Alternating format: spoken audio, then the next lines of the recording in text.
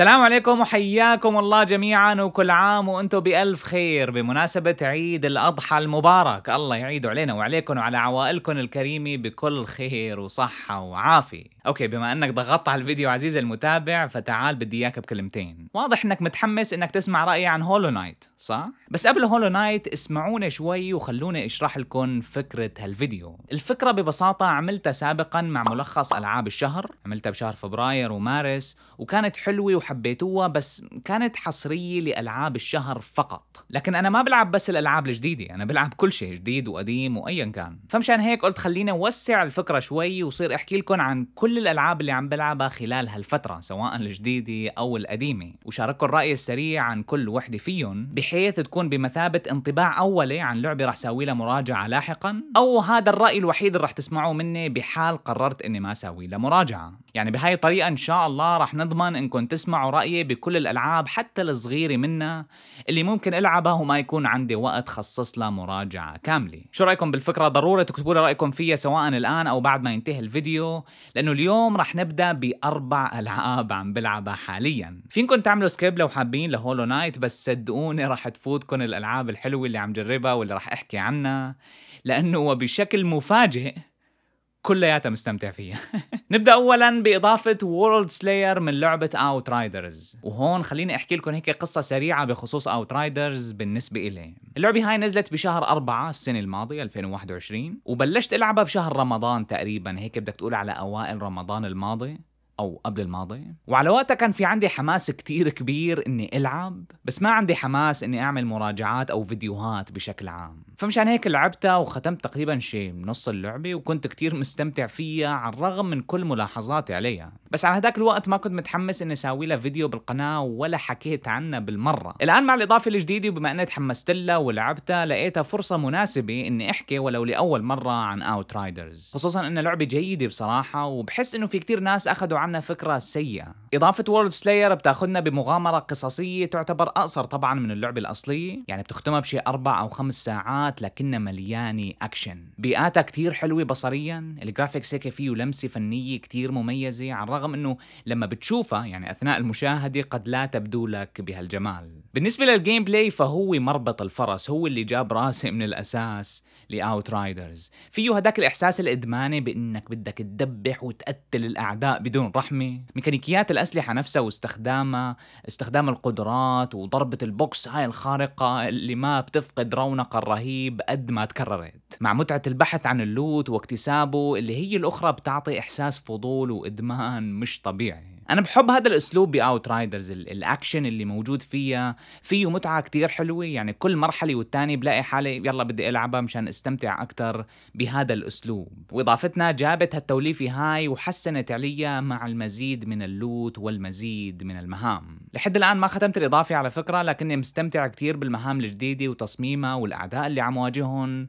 ومتحمس جرب أشياء من ال end game مثل ال dungeons مثلا. طبعا Outriders بالمناسبة اللعبة الأصلية متوفرة على ال Game Pass بال Xbox لكن الاضافه نفسها يعني لو بدك تشتري الاضافه راح تكلفك 40 دولار. بتطلب يكون عندك اللعبة الأصلية لحتى تلعبها. لكن الحلو بالموضوع إنه ما في داعي تكون خاتم اللعبة الأصلية أو لعبانها أساسا لحتى تفوت وتلعب Worldslayer يعني فينك تخش مباشرة على الاضافه ننتقل الآن للعبة الثانية وهاي بصراحة مستمتع فيها بس بشكل غريب شوي. Arcadegeddon لعبة ال Plus المجانية واللي فكرتها تتمحور حول مصمم ألعاب أسطوري عم يطور لعبة ال arcade الأخيرة بالنسبة له. هاي آخر لعبة عم يطورها. لكن في جماعة من الأشرار عم يحاولوا ينشروا داخلها فيروس ويخربوها. فهون بيجي دورك عزيزي اللاعب إنك تنقذ هاللعبة من خلال هزيمة الأشرار على شكل مجموعة تحديات فينك تنفذهم إما لحالك أو مع أصحابك.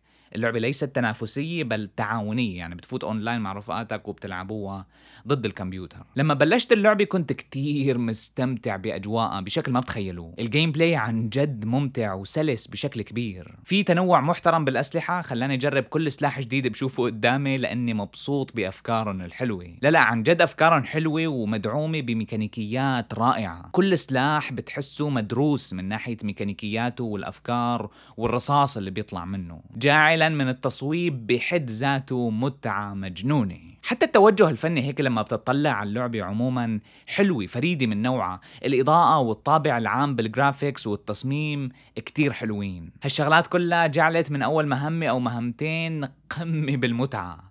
حرفيا أنا مستمتع بشكل لا يمكن وصفه. لكن المشكلة اللي صرت أواجهها لاحقا هو إني فعليا ماني عرفان شو المطلوب مني بالضبط.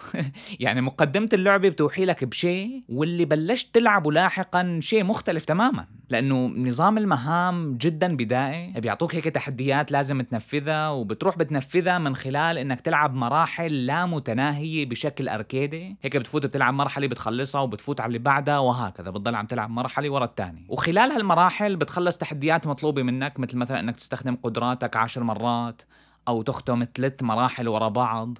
أو تجمع مدري شو. شغلات جدا عادية يعني ما فيها التحدي التحدي يعني. وبتاخذ مقابلها نقاط خبرة ومكافآت مشان لاحقا تشتري سكنات لشخصيتك وتعدلها وتظبطها. بس هاي هي اللعبة تقريبا وهذا أسلوب تقدمها. أو على الأقل هذا اللي واضح لي لحد الآن لأني ماني شايف أي شيء غيره. أنا بس عم روح أخذ المرحلة وروح ألعب ونفذها ورد أرجع. فالنقطة هون إنه أوكي ال gameplay سلس ومسلي وجميل وفيه أسلحة مجنونة ومكافآت و loot وإلى آخره. لكن لوين رح نوصل؟ يعني شو الشيء اللي أنا عم بلعب مشان حققه؟ ما حسيت إنه اللعبة عم تعطيني هالشعور هذا ابدا إني والله خلصت مرحلة. تمنيت مثلا يكون في مراحل رئيسية تختيم فعلي يعني ويكون بالمقابل في هيك أطوار جانبية مثل ال raid أو ال horde والأمور هاي. مش بس إنك تحطني ب arcade عشوائي بتفوت بتلعبه كل مرة ب objectiveات مختلفة قد تصبح حتى متكررة مع الوقت. ولولا العشوائية اللي بعتقد إني كنت رح مل منها أسرع بكتير من اللازم. حسيت في potential كتير كبير موجود هون لكن للأسف لم يتم توظيفه بالشكل الصحيح. شخصيا نظرت لها كلعبة مناسبة للبث المباشر. مباشر مثلا؟ هيك جربها والمتابعين عم يتفرجوا عليه. أو ألعبها مع الأصدقاء مشان نقتل عنصر الملل المتوقع بتكرار ال objectives لكن كلعبة استثمر فيها المزيد من وقتي وحط هيك شي 3 4 ساعات إضافية؟ لا بصراحة ما بعتقد. خصوصا لما بيكون في لعبة أخرى عم تقدر تستثمر فيها وقتك وتستمتع فيها أكثر مش بس إضافة اوت رايدرز بل أيضا فول جايز نعم فول جايز هي اللعبة الثالثة اللي بدي أحكي عنها بهالفيديو. وحقيقة قد ما حاولت أوصف لكم قديش مستمتع بهاللعبة ما رح أقدر. في شغف عطتني إياه فول جايز هيك إني أكون قاعد و... وتساءل شو بدي ألعب هلأ؟ هم يلا خليني ألعب فول جايز على السريع. وعاد اللعبة بإصدارها المجاني. حلت كل المشاكل المزعجة تقريبا من اللعبة الأصلية واللي خلتني ما أكمل فيها. مثل مشاكل السيرفرات وتأخير الدخول للماتش كانت موجودة بأول موسمين بفول جايز وشبه انحلت الآن وصار الدخول جدا سريع. التكرار المزعج بالمراحل. شغلة كانت عن جد مؤسفة بأول موسمين ثلاثة تقريبا. الآن صارت مليانة مراحل. طبعا مش كلها جديدة في أشياء انضافت خلال المواسم السابقة.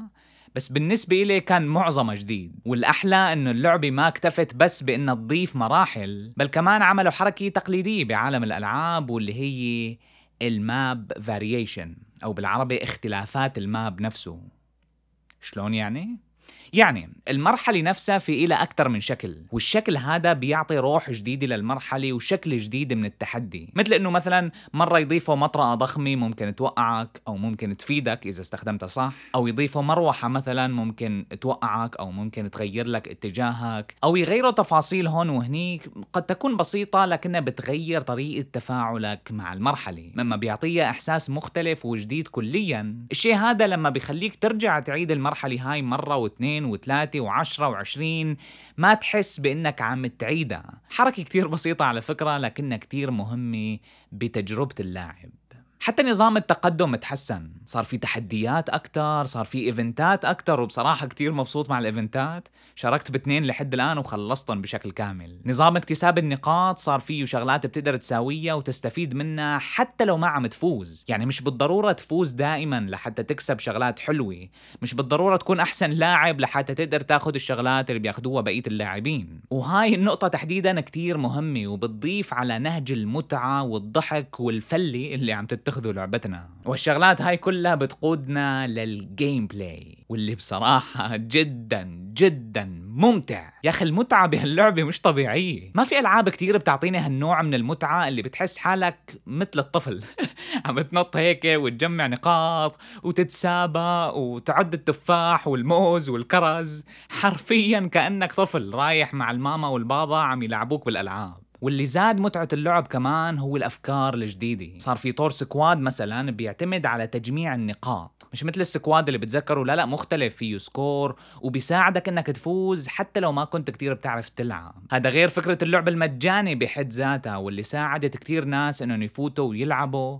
مما يعني بصراحة بزيد السهولة عموما لأنه صار في لاعبين أكتر وبزيد السلاسة والمتعة والضحك أكتر وأكتر. أنا ما عم بالغ ابدا لو قلت لكم إنه فول جايز من أكبر مفاجآت هالسنة بالنسبة إلي. كثير مستمتع فيها لدرجة إني كنت ناوي أعمل لها فيديو انطباعات نزله على القناة الثانية بس ما عملت لها لأني ماني عرفان شو بدي أحكي أصلا. أنا ماني عرفان شو بدي أحكي شو بدي أخلي. أنا مستمتع فيها بشكل لا يوصف. okay نجي الآن لهولو نايت oh boy بعتقد واضح إني حبيت اللعبة صح؟ شوفوا أول شيء لازم تعرفوه إنه الانطباع هذا جدا مبكر. يعني أنا لازلت ببدايات اللعبة وبعتقد ما لعبت شيء كتير كبير منها. لكن الشيء اللي شايفه قدامي خلاني قوم وقف هيك وبدي أحكي معكم وأقول قديش أنا حبيت هاللعبة. هاي مش لعبة حلوة يا جماعة. هاي مش لعبة قوية ولا أسطورية. لا لا لا لا, لا. اللي شايفه قدامي تحفة فنية. هولو نايت فيها كل الأمور اللي بتخليني أوقع بلعبة مثل هيك وأستثمر كل وقتي فيها. عالم وقصة مثيرين للاهتمام. توجه فني ساحر وعبقري gameplay رهيب وإدماني لأبعد الحدود. والأهم من هذا كله البساطة الكبيرة واللي داخلها الكثير من العمق والمحتوى القيم والدسم. اللعبة هاي مش طبيعية يا إخوان. فيها تجربة استكشاف عظيمة. حبيت كتير الإحساس الرهيب اللي إجاني وأنا بدي أعرف كل شيء وبدي أستكشف كل شيء ما بدي أخلي شيء يفوتني. بتفوت على مكان بتلاقي يمينك ويسارك وفوق وتحت بكل مكان شغلات قابلة للزيارة. بحتار وين روح وين بلش لأنه هذا المكان قد يكون مهم. وهذاك المكان قد يكون أهم. وكله مليان محتوى ما في شيء بخيب أملك أبدا. الشيء هذا بخليني فضول للاستكشاف. لفكرة إني ما بدي أترك هالمكان إلا وأنا متأكد إني مخلص كل شيء فيه. والفضول هذا قدرت هولو نايت تلعب عليه بطريقة عبقرية. فكم من شغلة حاولت أتفاعل معها بس للأسف ما قدرت أوصل لها مثلا؟ أو ما عرفت كيف ساويها. فكنت أقول أيوه أكيد هي وحدة من التنتين. يا أما لاحقا باللعبة رح أكتسب قدرة وأقدر أتفاعل معها أو إني بقدر أوصل لها بس من مكان تاني. الشيء هذا اولا رح يحمسني إني ألعب أكثر لحتى أكتسب القدرة هاي اللي أنا أصلا ما بعرفها. وثانيا إني أقعد لفلف هون وهنيك وأقعد دور على هالطريقة اللي ممكن تخليني أوصل لهالمكان. وما بتصدقوا الإحساس الرهيب لما اكتشفت مثلا مكان ال shortcut أو لما فتت لعند الأخضر هذا لقيته زعلان هيك وعم يبكي. ما بعرف شو بقولك حتى ما فيني أحكي معه. طلعت هيك وكملت استكشاف.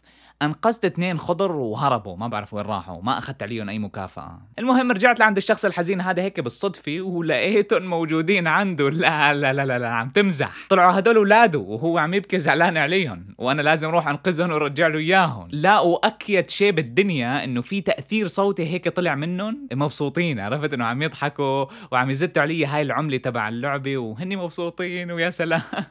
طيب الآن بعد ما اعتقدت إني مخلص ال dungeon الأول رحت تفاعلت مع الباب.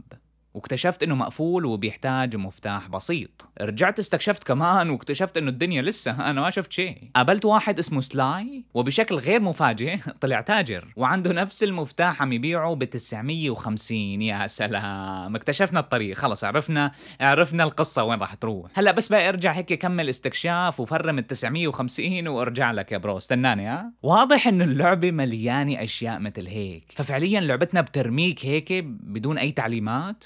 ويلا روح دور على طريقك روح شوف كيف ربك بيسر لك إياها. شغلي مثل ألعاب ال Souls أو خلينا نقول شغلي مثل Elden Ring بما انها نازله بهاي السنة.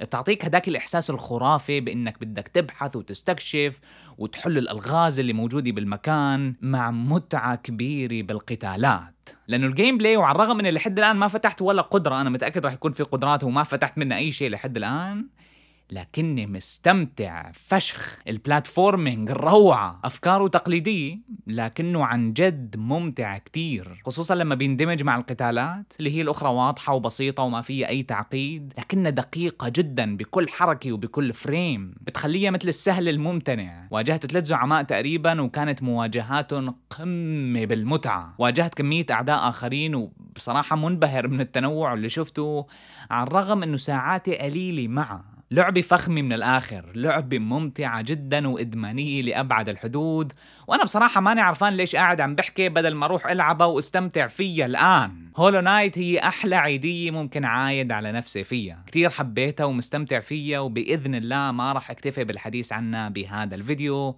ورح يكون لها مراجعة مرتبة ومفصلة إن شاء الله. وإلى ذلك الحين اشتركوا بالقناة وفعلوا الجرس لحتى يوصلكم كل جديد إن شاء الله. ألف شكر لكم يا جماعة على المتابعة وكل عام وأنتم بألف خير.